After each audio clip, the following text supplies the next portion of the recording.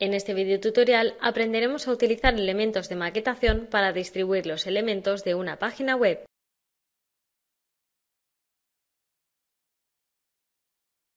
En el anterior vídeo ya creamos la cabecera. El siguiente paso será crear las columnas que dividen el contenido de la página.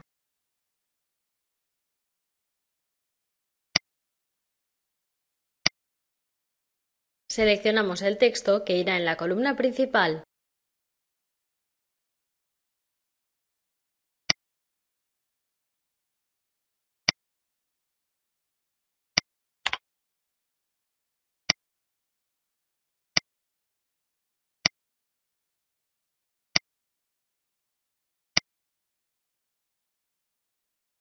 Para convertir este div en una columna, reducimos su ancho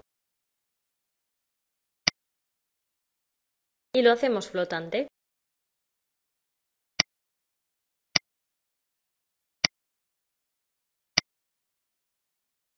Para que el texto no quede tan pegado al borde, le añadiremos un padding. Pero ocurre que el tamaño del padding se suma al tamaño del elemento, por lo que tenemos que cambiar el ancho. En vez de eso, es más cómodo crear un nuevo div.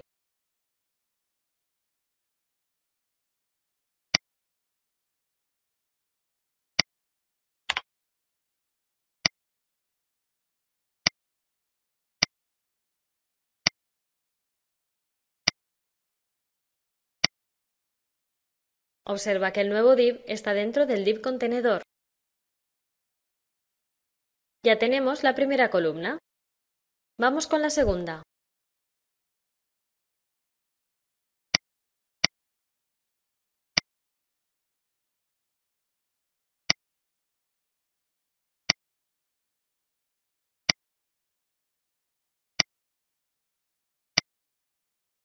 Le daremos un ancho que ha de ser lo que nos quede de restar el ancho total con el ancho de la otra columna.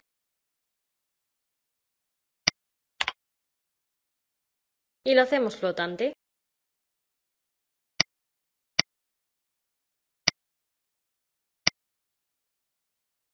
Los párrafos de esta columna tienen un estilo especial.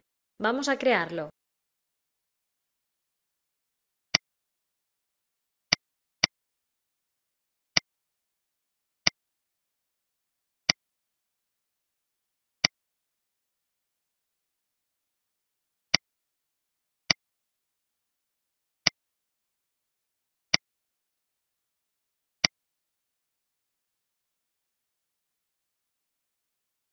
Para acabar, nos queda poner el pie. Para evitar que quede a la derecha y que alguna de las columnas sobrepase el límite inferior de la página, deberemos romper el flotamiento. Creamos el pie.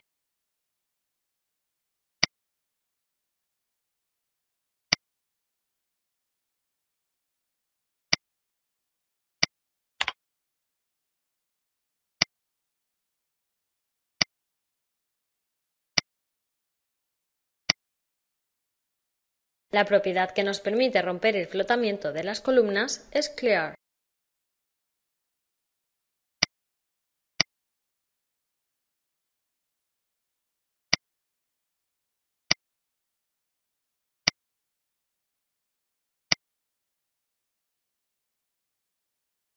Y esta es nuestra página acabada.